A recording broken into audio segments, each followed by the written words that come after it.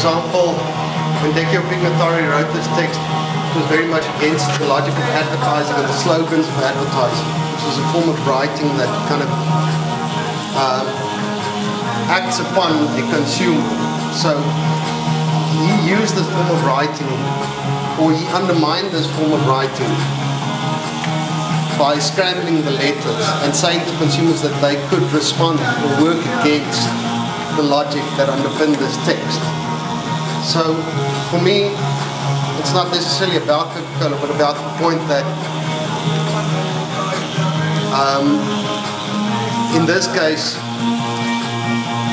your body can respond to the text. You, you're not simply written by discourse. The body writes back.